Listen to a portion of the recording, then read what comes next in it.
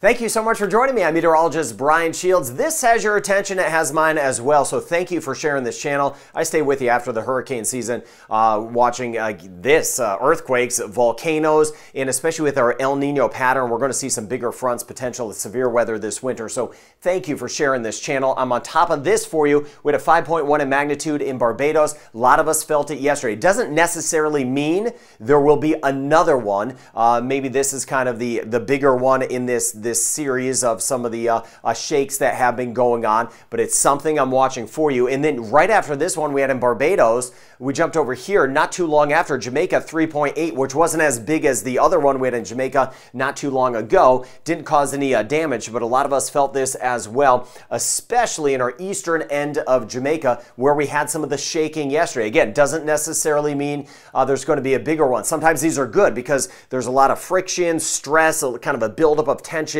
uh, below. So if things kind of shift a little bit, it could actually relieve some of that and uh, prevent maybe a bigger shake. So some of these smaller shakes sometimes are a good thing. Puerto Rico, British, and U.S. Virgin Islands, uh, very common to see them happening all the time. But again, sometimes the smaller shakes help out as a whole. 3.8 in magnitude just in the north of the British and uh, U.S. Virgin Islands. We get a ton of shaking in here uh, all the time, magnitude 3 to about 4.5. But again, it doesn't necessarily mean there's going to be a bigger quake, but I'm watching it. We've had a little tick up in some of the uh, activity, of course, yesterday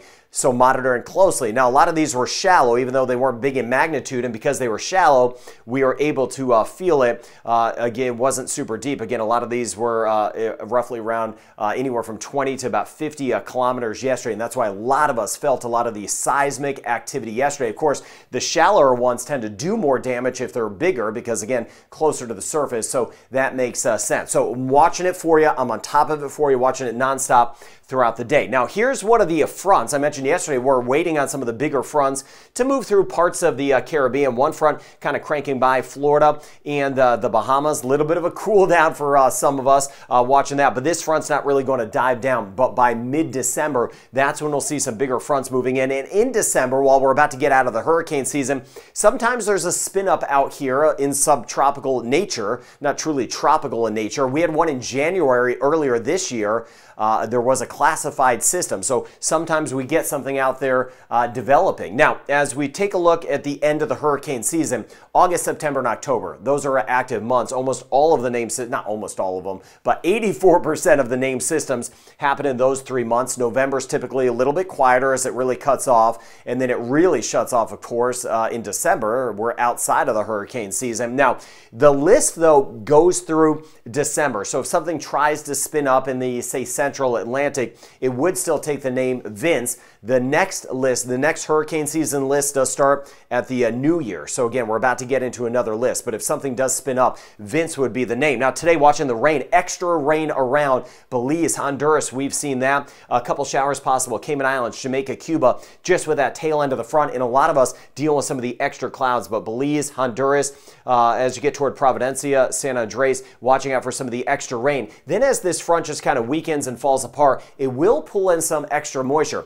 Not a lot, but as we work our way from Thursday to Friday, Friday we'll start to get some of these spotty showers that will be popping up even across the eastern and northeastern Caribbean. You see that uh, rain chance bumping up a notch, few showers possible. St. Lucia, Dominica, Martinique, uh, Saba may catch some over toward uh, Barbados. So seeing a few more showers by the end of the week. So Trinidad and Tobago kind of bumping around our rain chance 30 to 40% over the next three days. Upwards in Grenada to about a 40 to 50% chance by Friday. So slightly higher as we get toward the end of the week. Same thing, St. Vincent the Grenadines will get up to about a 40% chance. St. Lucia rain chance 40 to 50% uh, tomorrow and Friday. Again, not washouts, but we'll see some of those spotty showers around. Working our way through Barbados.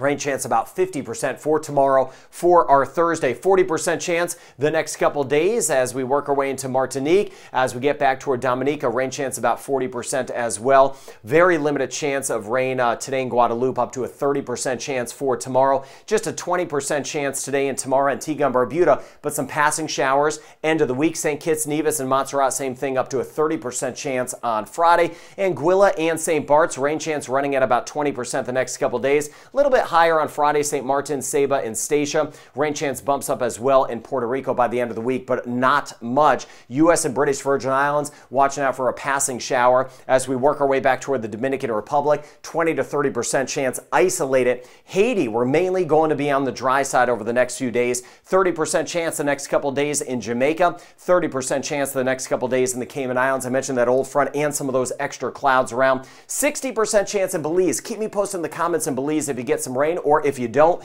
Kind of active through the Yucatan as well with a 50 percent chance. Not much through the Bahamas. Some of the extra clouds around. 20% chance as we work our way into Cuba, 10% chance as we work our way to the uh, Turks and Caicos, 20% chance for tomorrow, and the rain chance staying pretty minimal as we get back toward Aruba, Curacao, and Bonaire. There's just not a lot, not a lot of systems around. Uh, Bermuda, uh, mainly on the dry side over the next three days. Rain chance about 60% in Costa Rica today, 50% chance for tomorrow. Isolated in northern Venezuela, 30% chance, 20 to 30% chance in Guyana, and as we work our way into Suriname, mainly dry, little passing shower will be uh, possible. So monitoring these earthquakes, keep an eye on Central America for the possibility of some flooding. Bigger fronts to the north, I'll be tracking that as those get set to move in. Keep an eye on any subtropical storm development in December out into the Atlantic. But again, thank you for sharing this channel. I'll be on top of the earthquake situation for you. Have a good rest of your day.